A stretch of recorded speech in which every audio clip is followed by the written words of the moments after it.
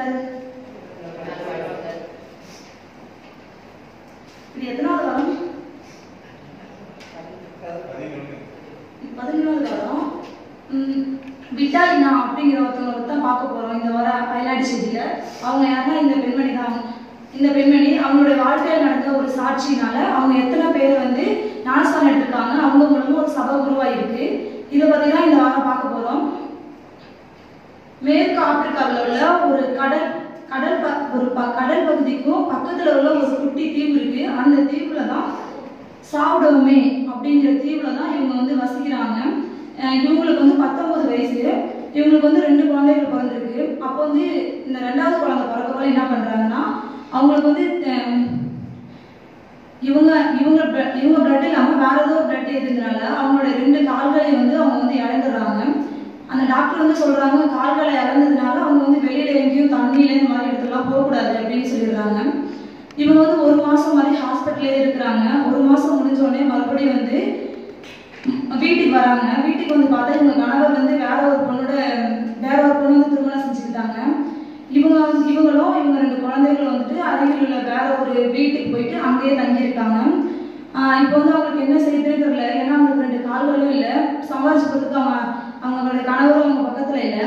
அப்ப என்ன பண்றாங்க? நம்ம சாகலாம் அப்படின்னு சொல்லிட்டு முடிவெடுக்க போல. முடிவெடுத்து சாகிறதுக்கு எல்லாம் ரெடி பண்ணிடுறாங்க. அப்போதைக்கு ஒரு அட்வர்டைஸ் பெண்மணி வந்து அவங்கள பார்க்க போறாங்க. இவங்க வந்து இந்த விட்டாலினா வந்து ஒரு அட்வர்டைஸ் பெண்மணி கிடையாது. இருந்தாலும் இவங்களுக்கு வந்து கால் இழந்திருக்காங்கல்ல. அந்த செய்தியை வந்து இவங்க கேள்விப்பட்டு அவங்க பார்க்க போறாங்க.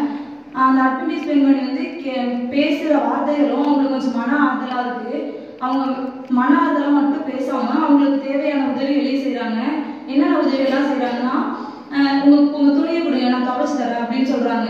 இந்த விட்டாலினாவுக்கு வந்து ரொம்ப ம், கடை கஷ்டமா இருக்கு. நம்மளோட ட்ரெஸ் வந்து அவங்கள்ட்ட நம்ம கொடுக்க வேணாம் அப்படின்னு சொல்லிட்டு என்ன பண்ணுவாங்கன்னா ஒவ்வொரு வாரமும் அந்த பெண்மணி வந்து ட்ரெஸ்ஸை கொடுங்க நாங்கள் துவைச்சு தரோம் அப்படின்னு சொல்லிட்டு கேட்பாங்களாம் அவங்க என்ன பண்ணாங்க தரவே மாட்டாங்க. கொஞ்சம் ரெண்டு மூணு கொடுத்துட்டு இவ்வளோதான் எங்கள் வீட்டில் இருக்கு நாங்கள் இவ்வளோதான் வச்சிருக்கோம் அப்படின்னு சொல்லிடுவாங்களாம். ஒரு ஒரு மாசம் இந்த மாதிரியே போயிட்டே இருந்துச்சு. அதுக்கப்புறம் ஒரு நாள் என்ன பண்ணாங்க? அந்த சபையில உள்ள மற்ற பெண்களையும் கூட்டிட்டு வந்து அவங்க வீட்டில் ட்ரெஸ் இருந்தா கொடுங்க அப்படின்னு கேட்கல அவங்க வந்து ரெண்டு மூணு ட்ரெஸ்ஸை மட்டும் கொடுத்துருக்காங்க. உடனே இவங்க அந்த அட்வர்டைஸ்மெண்ட் நம்பவே இல்லை அவங்கள பார்த்துட்டு. ஆஹ் மறுபடியும் வீட்டுக்குள்ள போய் பார்த்தா ஒரு ரூமுக்குள்ள நிறைய துணிகள்லாம் வச்சிருந்தாங்களாம். அந்த துணியெல்லாம் எடுத்துட்டு போய் அவங்க அந்த துணியெல்லாம் எடுத்துட்டு போய் என்ன பண்ணாங்க? அவங்க துவைச்சு அவங்களுக்கு தேவையான எல்லா உதவிகளையும் செஞ்சு தராங்க. இப்போ அவங்க வந்து துணியை மட்டும் துவைக்காம அவங்களுக்குள்ள வந்து ஒரு நல்ல நட்புறவா அவங்களுக்கு அட்வர்டைஸ் பண்ணிக்கிறதுக்கும் இந்த விட்டாலினாவுக்கும் ஒரு நல்ல நட்புறவு ஏற்படுது. இதன் மூலமா வந்து இயேசுபாவுக்கு வந்து அவங்க கொஞ்சம் கொஞ்சமா சொல்லித்தராங்க. ஃபர்ஸ்ட் வந்து அவங்க ஃபர்ஸ்ட் டைம் இயேசுப்பாட்ட ஜபிக்கிறாங்க. இயேசுபா எனக்கு வந்து நல்லா போஷிக்க. எனக்கு வந்து நல்லா என்னுடைய வாழ்க்கையில நல்லா போஷிக்கணும் நானே. எனக்கு தேவையான ஆகாரமே கிடைக்க மாட்டேங்குது அப்படின்னு சொல்றாங்க. அவங்களுக்கு எந்த வேலையும் அவ்வளோவா தெரியாதான். அப்போ அவங்க ஜெபம் பண்ணோடனே ஃபர்ஸ்ட் அவங்களுக்கு கிடைச்சது வந்து ஒரு கையால தைக்கிற ஒரு தையல் மிஷின் கிடைச்சுதான். அந்த தையல் மிஷின் தையல் மிஷின் கிடைச்சிருச்சு ஆனால் தைக்க தெரியல. மறுபடியும் அவங்க வந்து ப்ரேயர் பண்ணுறாங்க ப்ரேயர் பண்ணி என்ன பண்ணுறாங்க மறுபடியும் வந்து அவங்க- அவங்களே வீட்டில் கட் பண்ணி அதை வந்து தைக்க கற்றுக்குறாங்க கற்றுக்கிட்டு அவங்களுடைய தொழில் வந்து கொஞ்சம் கொஞ்சமாக வளர்ந்துட்டே இருக்குது அப்புறம் அவங்க கொஞ்சம் நல்ல நிலைமைக்கு வந்தோடனே அவங்களுடைய கனவு வந்து மறுபடியும் அவங்கள்ட்ட அவங்கக்கிட்ட வந்துடுறாங்க. வந்தோடனே மறுபடியும் அவங்களுக்கு வந்து அஞ்சு குழந்தைகள் பிறக்குது. இதுக்கப்புறம் என்ன பண்ணுறாங்கன்னா இவங்க இவங்களோட இவங்க சம்பாதிக்கிறாங்களா? அதை வச்சு இவங்க ஊருக்கு பக்கத்துல இருக்கவங்களுக்கு இவங்க வந்து வேத பயிற்சி அப்படின்னு சொல்லிட்டு ஒரு ஒரு இது கொடுக்குறாங்க. இது மூலமா ஆறு பேர் நாஸ்தானம் எடுக்கிறாங்க. அவங்க போயிட்டு மக்கள் அவங்க அருகில் உள்ளவங்கள்ட்ட எப்படி புரிய செய்யறாங்கன்னா ஃபர்ஸ்ட் தன்னுடைய சாட்சியா சொல்லுவாங்களா? நான் இவ்வளோ இதாக இருந்தும் தேவன் வந்து என்னை இவ்வளோ அழகாக வழிநடத்தியிருக்காரு அப்படின்னு சொல்லிட்டு அவங்க சாட்சியை வந்து அவங்க வந்து சொல்லப்போல மற்ற மக்களுக்கு வந்து அது வந்து ஒரு நம்பகத்தன்மையாக இருக்குமா? அதே போல தான் ஒவ்வொரு அதே போல தான் ஒவ்வொரு வாட்டியும் அவங்க நிறைய பேர் சந்திக்க சொல்லுவாங்கன்னா இப்போ வந்து ஃபர்ஸ்ட் ஒரு ஆறு பேர் ஞானஸ்தானம் எடுத்தாங்க. அடுத்து வந்து மறுபடியும் ஒரு ஆறு பேர் எடுத்தாங்க. அடுத்து வந்து ஒரு நாற்பது பேர் எடுத்தாங்களாம். இவங்க ஒரு ஆள்ல மட்டும் ஃபர்ஸ்ட் ஒரு ஆறு பேர் அடுத்து ஒரு ஏழு பேர் அடுத்து ஒரு நாற்பது பேர். இத்தனை பேர் வந்து அவங்களாம் ஞானஸ்தானம் எடுத்திருக்காங்க. ஒரு பெரிய ஒரு சபையை உருவாகிற அளவுக்கு அவங்களால வந்து அந்த பகுதியில் வந்து சத்தியம் பரவ ஆரம்பிச்சிருச்சான் அந்த தலை அந்த தலைவர் வந்துட்டு சபை தலைவர் வந்துட்டு இவங்க வந்துட்டு ஒரு சபை ஆரம்பிக்கலாம் அப்படின்னு சொல்லிட்டு இடம் தேடுறப்போ எங்கேயுமே இடம் கிடைக்கவே இல்லை. இந்த விட்டாலினா வீட்டுக்கும் அருகில் வந்து ஒரு இடம் இருக்கு அப்படின்னு சொல்லிட்டு இவங்களே வந்து இந்த இடத்த கொடுக்குறாங்க கொஞ்ச நாளைக்கு மட்டும். அப்ப என்ன பண்றாங்க? அந்த விட்டாலினா சொல்றாங்க அந்த சபையை என் வீட்டுக்கு பக்கத்துல பக்கத்துல எனக்கு ரொம்ப சந்தோஷமா இருக்கு. நான் காலையில போயிட்டு அந்த இடத்துல நான் ஆராதனை செய்யறதும் எனக்கு ரொம்ப மகிழ்ச்சியா இருக்கு. இது மட்டும் இல்லாம என்னால அநேக மக்கள் வந்து கத்தருடைய சத்தியத்தை எந்த ஏற்றுக்கொண்டதுனால ரொம்ப சந்தோஷமா இருக்கேன் அப்படின்னு சொல்லியிருக்காங்க. இன்னமும் வந்துட்டு அந்த அவங்க வீட்டுக்கு அருகில் உள்ள இடம் வந்து ஒரு பாலடைஞ்ச இடமா இருக்கு. சரி செய்யலாம் இந்த வாரம் பதிமூன்றாம் வாரம் அன்னைக்கு வந்து அதுக்காக கேட்டிருக்காங்க. செய்தி புரிஞ்சுக்கலாம் கர்த்தர் நம்ம மாமி. நல்லது ஒரு அறிக்கை எடுத்துக் கொடுத்த சகோதரிக்கும் நன்றி. இப்பொழுது கூட அடுத்ததாக ஹெல்த் டாக்கை வழங்குவதற்கு டாக்டரை அழைக்கிறேன்.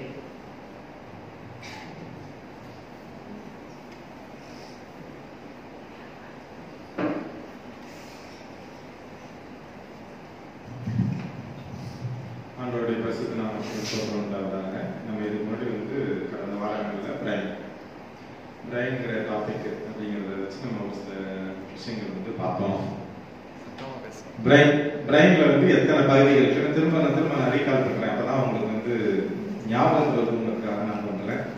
பிரைன்ல வந்து செரிபிரம் செரிபெல்லம் பிரைன் ஸ்டம் அப்படின்னு மூணு பகுதி வந்து சொல்றோம். இதுல வந்து ஒவ்வொரு பிரைன்ல ஒரு பகுதியில் வந்து நாலு லோப் இருக்கு டெம்பரல் பெரைட்டல் ஆக்சிபிட்டல் நாலு இருக்கு. இது இல்லாம இந்த பிரைன்ல வந்து இந்த சல்கஸ் கைரஸ் சொல்லணும் சல்கஸ்னா பல்லம் கைரஸ்னா நீரு அப்படின்னு போன வாரம் என்ன பார்த்தோம்னா இதுல வந்து அந்த வென்ட்ரிகல்ஸ் செரிப்ரோஸ்பைனல் ஃப்ளூயிட்னு சொல்ற மூளை தண்டுவட தரவத்தை பத்தி பார்த்தோம். மொத்தம் எத்தனை வென்ட்ரிக்கல் இருக்கு? யாராவது சொல்லுங்க. ஃபீமேலா சொல்லுங்க. எத்தனை வென்ட்ரிகல்ஸ் இருக்கு? போன வாரம் சொன்னது. நான்கு வென்ட்ரிக்கல் சொன்னோம். ரெண்டு லேட்டரல் வென்ட்ரிக்கல் ஒரு தேர்ட் வென்ட்ரிக்கல் அடுத்தது ஒரு ஃபோர்த் வென்ட்ரிக்கல் நாலு வென்ட்ரிக்கல் இருக்கு. இந்த மூளை தண்டோட திரவம் இந்த வென்ட்ரிக்கல்ஸ் மூலமா பாஸ் ஆகி இந்த முதுகு தண்டோட வரைக்கும் கீழ் வரைக்கும் வருது. திரும்ப மேலே போகுது. இது வந்து பிரெயினுக்கு வந்து எனர்ஜியை கொடுக்குது. நியூட்ரிஷன் கொடுக்குது. அப்படிங்கிறத பத்தி பார்த்தோம். இந்த மூளை இருக்குன்னு வச்சுக்கோங்க. இதுதான் வந்து மூளை. இது மூளைன்னு வச்சுக்கோங்க. இந்த மூளையில எடுத்து பிரைன் ஸ்டம் அப்படி வர கீழே இறங்குது. ஒரு தண்டு. இந்த தண்டில் இருந்து அப்படியே ஸ்பைனல் கார்டு கீழே ஓகேங்களா? பிரைன் இது பிரைன் ஸ்டம் ஒரு தண்டு. தண்டிலிருந்து அந்த தண்டுடைய ஃபர்ஸ்ட் பார்ட்டுக்கு பேர் தான் வந்து மிட் பிரைன் சொல்றோம். அடுத்தது பான்ஸ்னு சொல்றோம். அடுத்தது மெடுலான்னு சொல்றோம். இதுதான் செரிபிரம் இது பிரைன் ஸ்டம் இந்த பிரைன் ஸ்டம்க்கு ஆப்போசிட்ல தான் செரிபெல்லம் இருக்கு செரிபெல்லம்ங்கிறது சிறுமுகை இப்போ இந்த பிரைன் ஸ்டம் பிரெயினோட ஜாயிண்ட் ஆகுது பார்த்தீங்களா?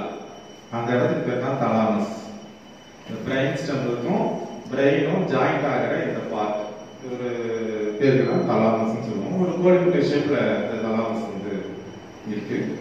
இந்த தலாமஸோடைய இந்த தலாமஸ் என்ன பண்ணுன்னா ஒரு ரிலே ஸ்டேஷன் மாதிரி. ரிலே ஸ்டேஷன் என்ன? இங்கே வந்து சிக்னலை வாங்கி இங்கே சிந்து திருப்பி அனுப்புறது. அதே போல பிரைன்ல இருந்து சிக்னல்ஸ் வாங்கி அதை ஸ்பைனல் கார்டுக்கு அனுப்புது. ஸ்பைனல் கார்ட்ல சிக்னல்ஸை வாங்கி அதை பிரெயினுக்கு அனுப்புது. இப்போ என்ன சிக்னல் அப்படின்னு வச்சுக்கோங்களேன்.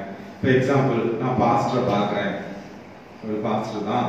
அப்படிங்கிறது நம்மளுடைய மெமரியில இருக்கும். இது ஒரு பாஸ்டர் பார்க்குற அந்த சிக்னலை வெளியில இருந்து கண்ணுல இருந்து அந்த சிக்னல் போகுது. சிக்னல் போய் ஹைப்போ தலாம் தலாமஸுக்கு போய் தலாமஸுக்குள்ள இருந்தா பிரெயின் போகும். அந்த மாதிரி சிஸ்டர் ஒரு வார்த்தை சொல்றாங்க அதை நான் கேட்குறேன். அந்த கேட்குற சிக்னல் தலாமஸ்குள்ள போய் தான் பிரெயின்குள்ள போகுது. அது மாதிரி ஒவ்வொரு இன்ஸ்டன்ட்டும் உதாரணத்துக்கு சாப்பிட்றேன் இந்த டேஸ்ட் இது கசக்குது இது இனிக்குது இது புளிக்குது அப்படிங்கிறது எப்படி தெரியுதுன்னா அந்த நாக்கில் இருந்து அந்த சுவை நரம்புகள் தான் சிக்னல் போகுது. இப்போ எப்படி செல்ஃபோன்லேருந்து செல்ஃபோன் செல்போன் டவர்ல வருதோ அதே போல.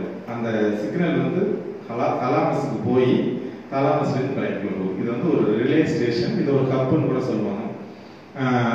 ஆனால் இது ஒன்றே ஒன்று மட்டும் சிக்னலை கொண்டு போகாது. என்னன்னா மூக்கு. இந்த இருக்கிற சிக்னல் மட்டும் அதுக்கு போகாது அப்படின்னு சொல்கிறாங்க மூக்குலேருந்து போகிறது வந்து ஆல்ஃபாக்ஷன் சொல்லுவாங்க. ஆல்ஃபாக்ஷன்னா அந்த வாசம். அந்த வாசம் மட்டும் இது வழியாக போகாது. மற்ற எல்லா சிக்னலுமே இந்த தலாமஸ் மூலமாக தான் பிரெயினுக்கு போகும் அது ஒரு ரிலேஷன் போதும் நெக்ஸ்ட் வீக்